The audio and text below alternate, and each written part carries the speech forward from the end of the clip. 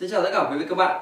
Hôm nay thì quý vị các bạn sẽ cùng Hải Sơn khám phá về một phối ghép giữa một đôi loa Ý có tên là Chario Definite ghép cùng với một chiếc âm ly Mỹ ờ, có tên là Sphinx V2 đến từ thương hiệu Roger Audio. Chúng ta hãy cùng bắt đầu tìm hiểu ngay về từng thành phần trong bộ phối ghép này. Trước tiên, Hải Sơn xin giới thiệu ờ, trước đôi loa. Ờ, đây là đôi loa có tên thương hiệu là Chario. Phải nói là Chario là một trong những thương hiệu loa Ý đã có từ rất là lâu năm và nó cũng sớm được những audio file Việt Nam biết đến từ rất nhiều năm trước. Thì loa Chario ờ, trong cái tiềm thức của Hải Sơn đã từng biết về quá khứ, cũng như là trong nhiều audio file, rằng thương hiệu Chario những cái đôi loa Chario thường có khả năng nghe nhạc giao hưởng, nhạc cổ điển rất là tốt, và có khả năng là nghe lâu mà không cảm thấy mệt. Đấy là một cái ưu điểm mà người ta vẫn nhắc đến khi nói đến thương hiệu Chario và ở đây chúng ta có một cái đôi loa Booksell nó có tên là Chario Definite. Definite có nghĩa là sao bắt đầu. Nó nằm trong cái dòng Constellation. Thì Constellation là các vì sao sáng. Đấy là cách đặt tên của loa. Rất là hay và có những cái ý nghĩa riêng. Thì đây là một đôi loa nó được sản xuất tại Ý. Ở đằng sau thì nó sẽ có ghi cái dòng chữ là Made in Italy. Ở đằng sau làm cũng rất là đẹp. À, chúng ta thấy một cái đôi loa với một thiết kế rất là khác biệt so với nhiều đôi loa khác. Cái sự khác biệt rất là lớn đó là ở hai bên là có hai cái hồi gỗ hai phần má gỗ ốp hai bên là theo như mình tìm hiểu thì hãng nói là đây là dạng gỗ thịt.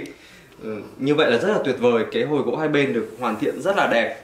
Và nó tăng thêm cái phần sang trọng cũng như là có một cái chất gì đó cổ điển và sang trọng ở trong cái đôi loa này. Mình thích rất là thích cái điểm này. Thứ hai một cái đặc điểm ấn tượng ngay khi quý vị các bạn nhấc từng chiếc loa lên thì sẽ thấy rất là nặng tức là đây là một trọng lượng mà có thể gọi là chúng ta sẽ cảm thấy rất ngạc nhiên vì cái độ nặng của mỗi chiếc loa.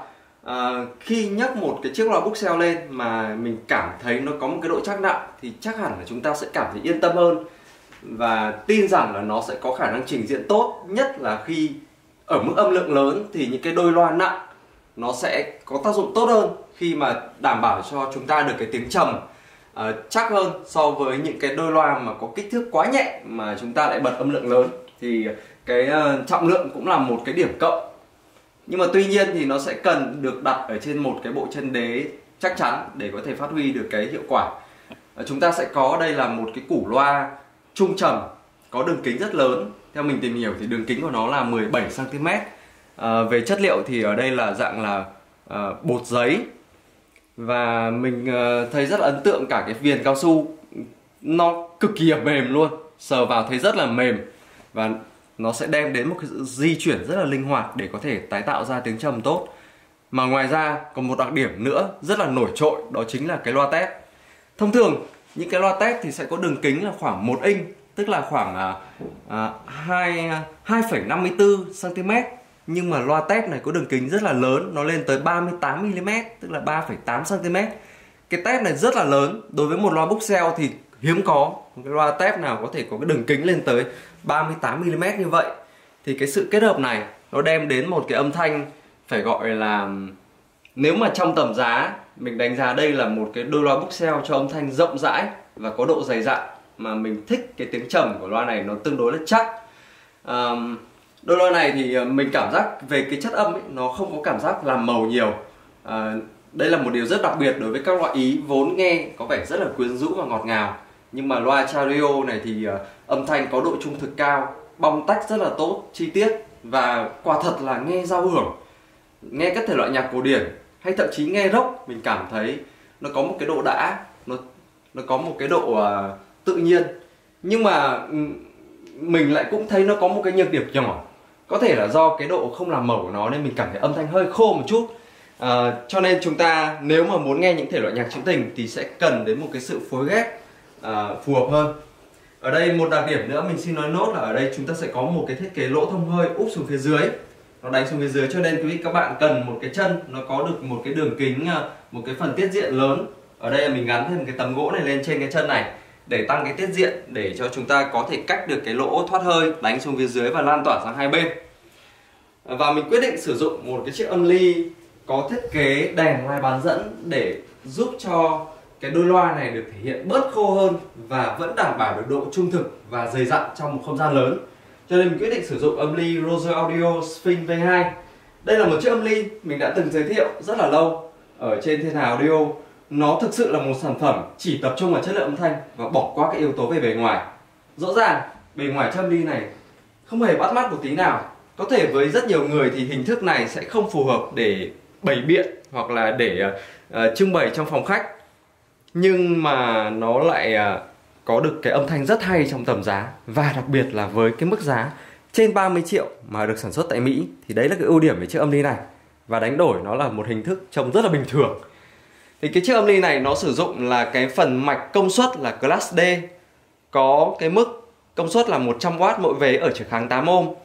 Và cái phần ờ, đầu vào của nó, phần tiền khuếch đại, nó sử dụng là bóng đèn là 12 AU7 chính vì vậy mà nó sẽ trung hòa được cái ưu điểm của cả hai dạng. Tức là nó sẽ có được một cái độ âm thanh, vẫn có được một cái độ ngọt ngào mềm mại nhất định, nhưng nó vẫn có được một cái độ động và độ mạnh mẽ khỏe khoắn, đặc trưng của dòng âm ly à, bán dẫn Class D. Thì à, mình tin rằng cái phối ghép này nó sẽ đem đến một cái trải nghiệm rất khác so với những cái dòng loa khác và những cái bộ phối ghép khác ở trên thị trường. Thì kính mời quý vị các bạn, chúng ta hãy ngồi ra ghế và cùng thưởng thức âm nhạc.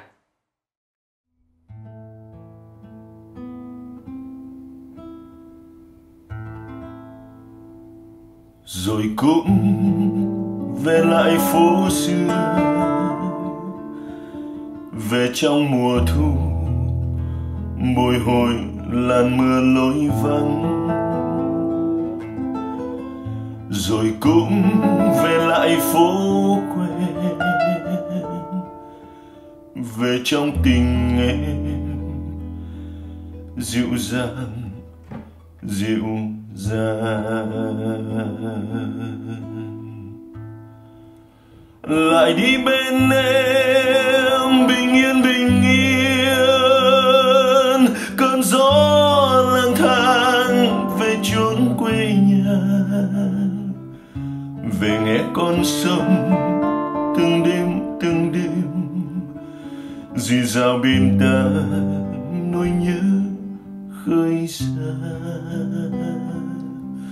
Lại nghe yêu thương trao dâng lòng tôi.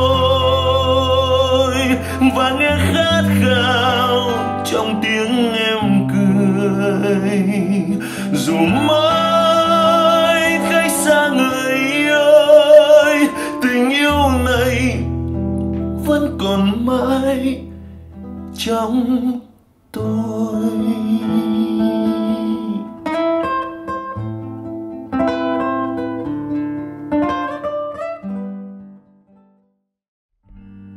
Close your eyes, sleep well tonight, my little angel. Stars in the sky shining so bright, my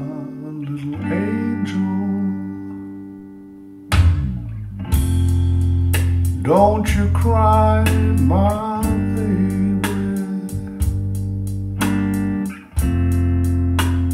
It's gonna be alright. I promise to watch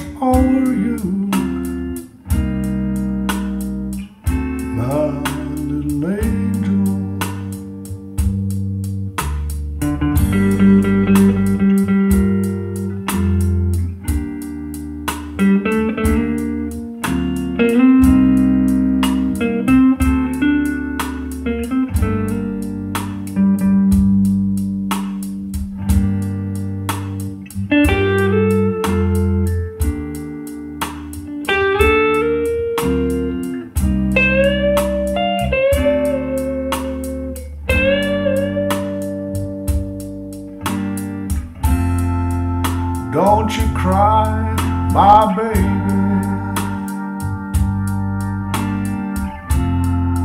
It's gonna be alright. Gonna be alright. I'll dry your eyes. I'll make you smile.